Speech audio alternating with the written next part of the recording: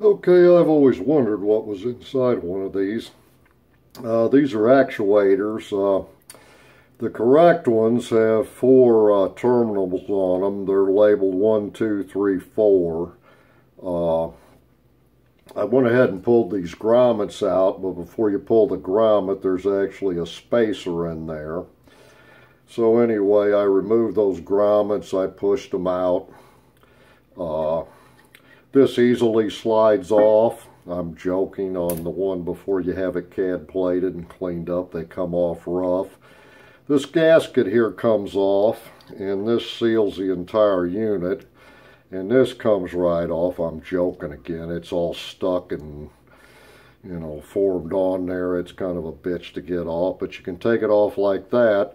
Now, if they're not running, what I find is these things, the brushes on them, oh, by the way, the rubber part comes off.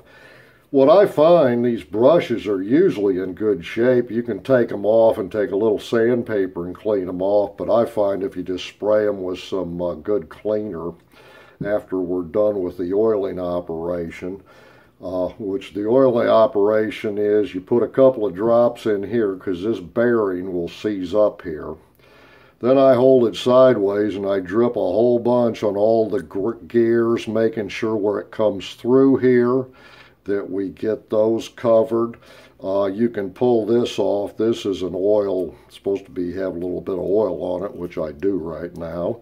You can drip some in here. These are all contacts, so I try to avoid that area.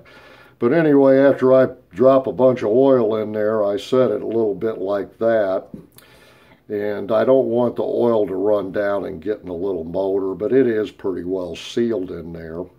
Now after it soaks, and I'm talking, a lot of times I let it set a week, uh, first of all, you got to make sure the armature's moving. Now, there's windings on the armature, but if you get something pointy, you can go through, and I don't know, can you see that move?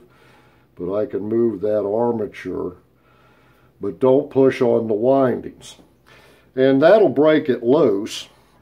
Or if you look down through there, there's one that goes to the motor winding. And the one that goes to the motor winding is this back bottom one in the corner. And you can get that thing where you can turn it with your finger like that. If you can't, it isn't lubricated and something's bound up in it.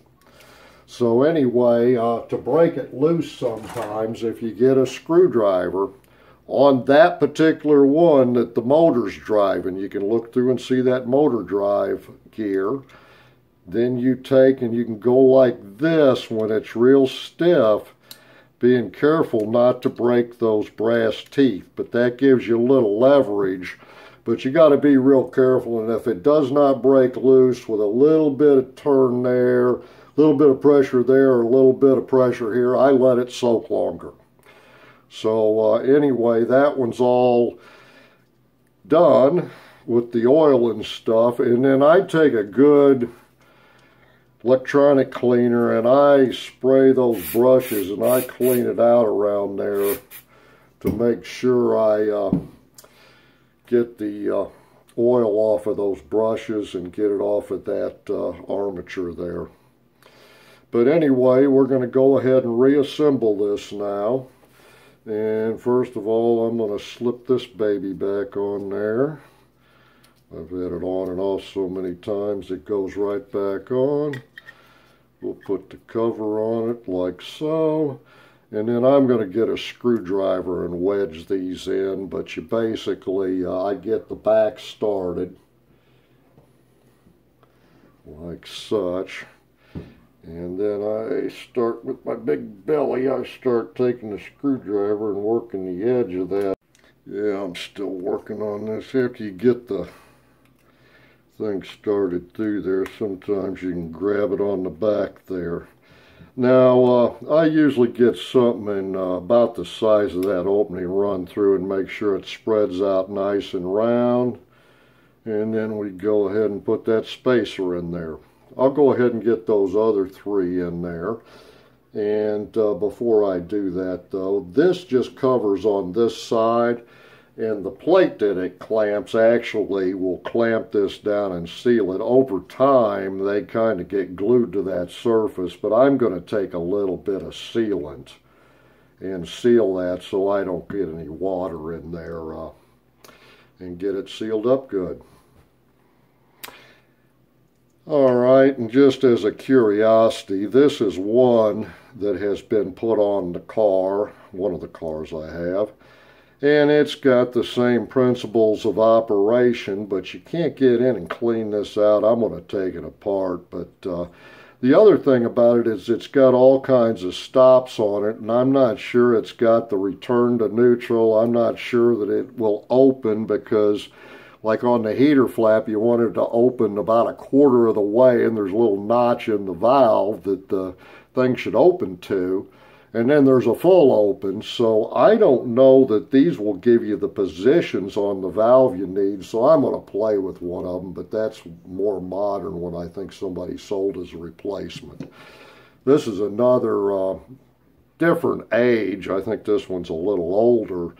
But basically, it's the same setup. And this was a Lucas uh, 4 pin, which is what you want, and there is a ground on it. You know, it's a lot easier when me and Ralph work together. Uh, this selfie stick is uh, not real uh, good for all the things I do, but uh, I went ahead and bolted this in here. That's actually the water valve you can see there I talked about it's got a stop. It's got a stop here where it shuts off and see how that thing just wants to be there? There's actually a little groove in it that allows it to, when it pops open, that's kind of your half open position and then it will go ahead and push it to full open. Okay. This guy has a little Allen screw in the end of it it sets in there and then the rod goes through it. It sets in the middle, of course. And I'll get that in there. And then this sets on there and it actually rotates, well, the engine rotates it all the way around. So it does this motion, but it makes a complete circle. We'll show you that as we get it put together. Uh, the other thing I would mention is this one, I just put washers on with my nuts. And of course, these valves, they clamp together. These are two pieces. They're a bitch to get apart. And if you do pry them with something, make sure you get the burrs off so they seat properly. There's a big old O-ring, big old fat O-ring that goes in there, and it's kind of a specialty O-ring.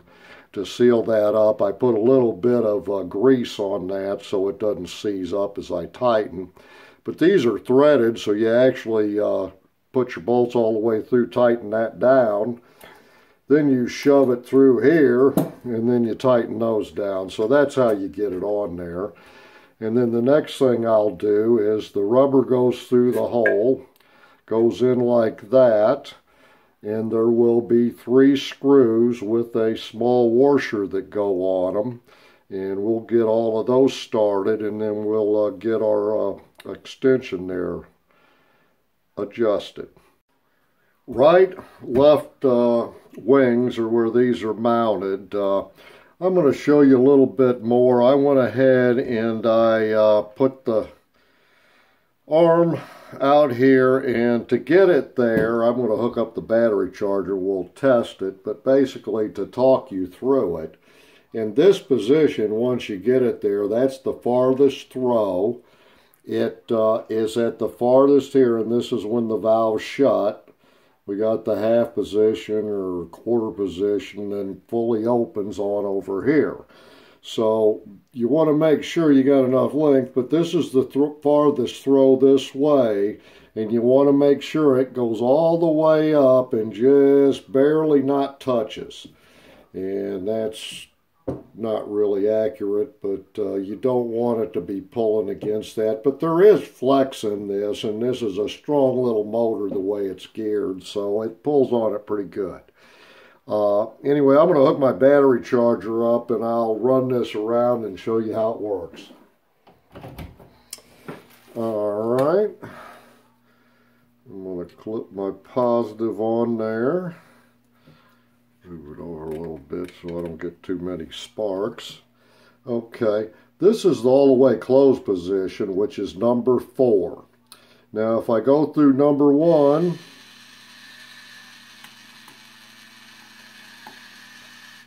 that's all the way open. Number two, you can see it comes on around, and that's a on around, and then this is the closed position. So that's basically how those work, and that's all tested out. Uh, I did have to mess with it a little bit. I had it too loose. I'd rather start out loose and then tighten it a little bit. So uh, anyway, that's the way I suggest you set them up. Uh, these uh, bolts here, and I think they're 2BA. I don't know. My eyes don't judge them the way they used to. But uh, anyway, four of those connected over to the fender well. So uh, it mounts like that. There's a beam that runs around the, uh, I say fender well, I guess I should say the wing on a British car. And there's a ridge that runs around. These go in the ridge. And these right here, this is a bear to get in. But that's how you fasten it to the car. And of course, you got the hot water coming in and you got the cool water or basically coming uh, to the heater core. And that's on the right side and the left side also if you got a Cloud 3. And as I said before, on a Cloud 2, uh, you only have one of these and uh, the heater box is double the size, but uh, I don't know if there's a difference. I don't think the thing really heats up anyway in the winter. They never get really warm.